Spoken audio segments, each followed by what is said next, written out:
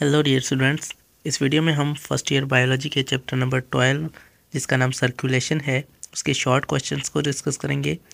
तो हमने ये चैप्टर जो है, वो पूरा कंप्लीट कर लिया है। इसके सारे टॉपिक्स की वीडियोस हमारी प्लेलिस्ट में मिल जाएँगी और हमारे चैनल पे भी आपको इसकी वीडियोस मिल जाएँगी। और आज हम जो है, वो उसकी शॉर्ट क्वेश्चंस को डिस्कस करेंगे। तो आइए इसके शॉर्ट क्वेश्चंस को डिस्कस कर लेते हैं। उसके बाद हम इसके लॉन्ग क्वेश्चंस को नेक्स्ट वीडियो में डिस्कस करेंगे। तो सबसे पहले इसके शॉर्ट क्वेश्चंस में जो सात हमारे क्वेश्चंस हैं। पहला जो क्वेश्चन है वो why higher animals need circulatory system जो हायर एनिमल्स हैं, जो बड़े एनिमल्स हैं, उनको सर्कुलेटरी सिस्टम की ज़रूरत क्यों होती है? जबकि छोटे जो ऑर्गेनिजम्स हैं, उनमें डिफ्यूजन के ज़रिए ही जो है वो सर्कुलेशन हो जाती है। दूसरा हमारे क्वेश्चन है why S A node is called pacemaker of heart S A node को हार्ट का पेज मेकर क्यों कहा जाता है? नंबर टू है why capillaries have single layer of endothelium capillaries के पास एक ही लेयर क्यों होती है एंडोथेलियम की? ये सारे जो है वो हमें इसके रीज़न देने हैं। उसके बाद लब डब साउंड क्या है? ये चौथा क्वेश्चन है, पांचवा क्वेश्चन है circulatory system of arthropod is called open type इसको ओपन टाइप क्यों कहा जाता है? अर्थ्रोपोड्स जो हैं, उनके सर्कुलेटरी सिस्टम को ओपन टाइप क्यों कहा जाता है? उसके बाद नंबर सिक्स है blood flow faster in arteries blood जो है वो आर्टरीज में तेज़ क्यों फ्लो करता है? नंबर सेवन है distinguish between single circulation and double circuit circulation single circuit circulation और डबल सर्किट सर्कुलेशन के बीच में डिफरेंस क्या है? ये हमें डिस्कस करना है। तो ये आज चलिए हमने ये क्वेश्चन सॉल्व किए हैं। हम वहाँ पर आकर आपको दिखाते हैं और अगर आप जो है वो इस इसका पीडीएफ चाहते हैं तो आपको लिंक डिस्क्रिप्शन में मिल जाएगा। आप वहाँ से इसका पीडीएफ जो है वो फ्री में डाउनलोड कर सकते हैं। तो चलिए वीडियो को स्टार्ट करते हैं। तो यहाँ पर हमारे सारे क्वेश्चंस जो है वो सर्कुलेशन के शॉर्ट क्वेश्चन सॉल्व हैं। सबसे पहला जो क्वेश्चन था why higher animals need circulatory system तो इसका हमारे पास आंसर है higher animals such as a mammals and birds have circulatory system to transport oxygen nutrients and hormones to the cells of the body तो ये जो बड़े हायर एनिमल्स हैं, इनको न्यूट्रेंट्स और ऑक्सीजन्स और हारमोन्स जो है वो सेल्स और बॉडी तक पहुँचाने होते हैं, इसीलिए इनके पास सर्कुलेटरी सिस्टम होता है। To remove the waste product ये भी जो है वो सर्कुलेटरी सिस्टम का काम है। The circulatory system consist of heart blood vessel and blood इनके सर्कुलेटरी सिस्टम में हार्ट होता है ब्लड वेजल और ब्लड होता है।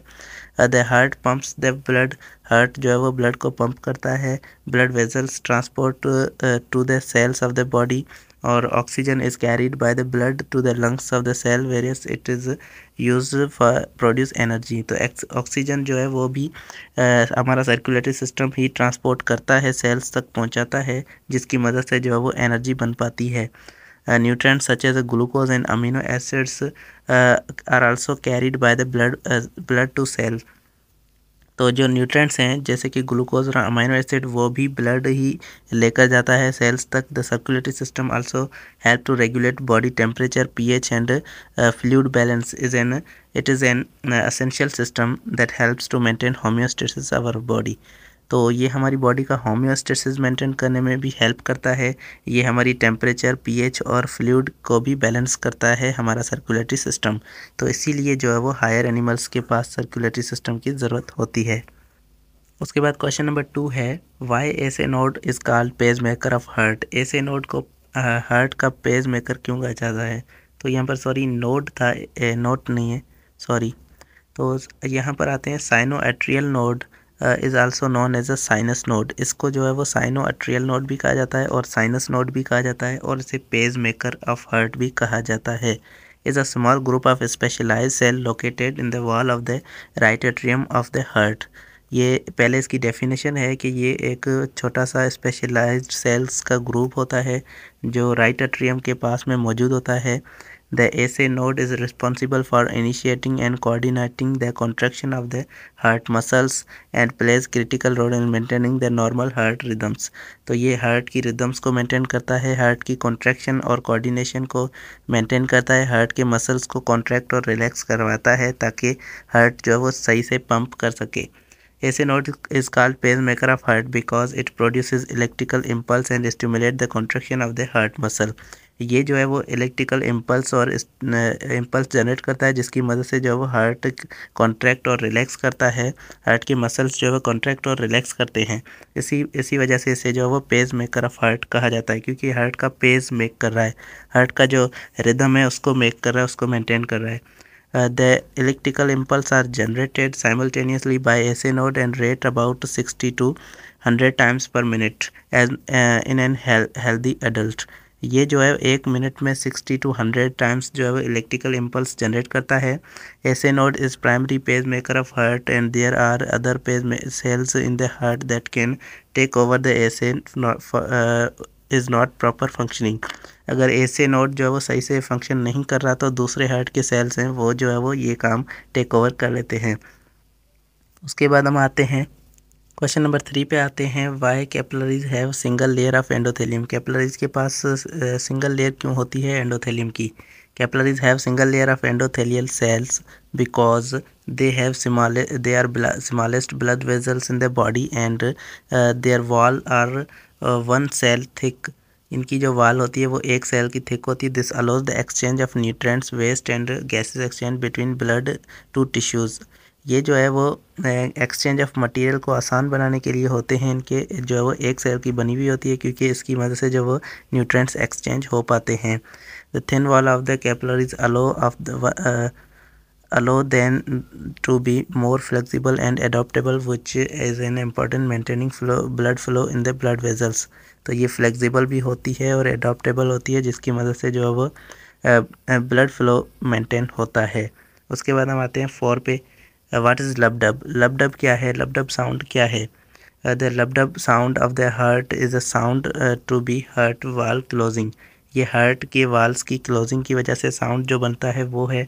Lub sound is a sound of the mitral tube tricuspid valve closing tricuspid valve जब क्लोजिंग होता है तो ये जो हमारे पास लब साउंड बनता है and which occurs during the beginning of the ventricular systole तो ये वेंट्रिकुलर सिस्टली की स्टार्टिंग के अंदर जो है वो ये हमारा ट्राइकस्पिड वाल बंद होता है। इसकी मदद से जो है वो लब लब साउंड प्रोड्यूस होता है। Dub is a sound of the aortic pulmonary pulmonic valves ये जो है वो जो आर्टरीज़ के अंदर वॉल लगे होते हैं, उनकी, उनके बंद होने से जो डब का साउंड प्रोड्यूस होता है which occurs at the end of the ventricular systole ये जो है वेंट्रिकुलर सिस्टली के ख़त्म होने के बाद जो है वो ये साउंड आता है। This sounds can be heard with the stethoscope and are use the diagnose problem with the heart ये साउंड जो है वो स्टेंथो स्टेथोस्कोप के साथ हम सुन सकते हैं और ये जो है वो प्रॉब्लम्स को भी हम इससे सॉल्व कर सकते हैं।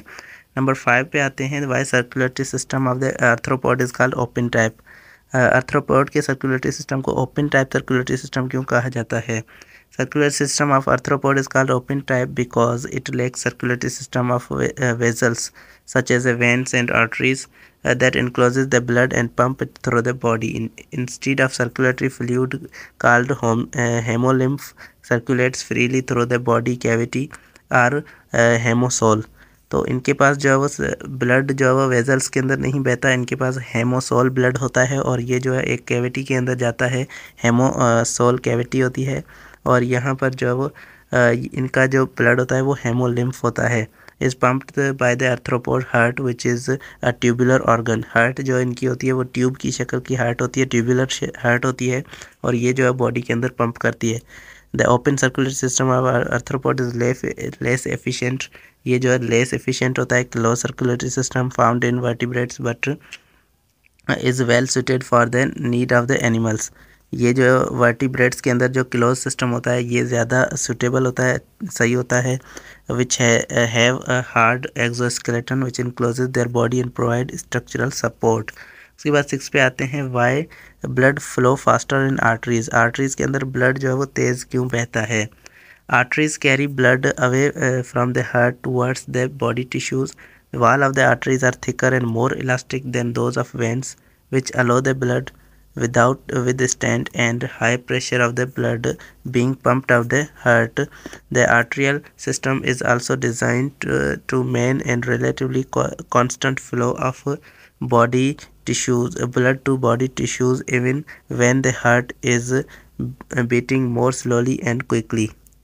तो आर्टरीज़ के अंदर जो है वो ब्लड तेज़ी से इसलिए बहता है क्योंकि इसकी जो आर्टरीज़ की वाल होती हैं, वो थिकर होती हैं और इसका ल्यूमन जो है वो छोटा होता है, जिसकी मदद से इसके अंदर ज़्यादा प्रेशर होता है वेंस के मुकाबले में।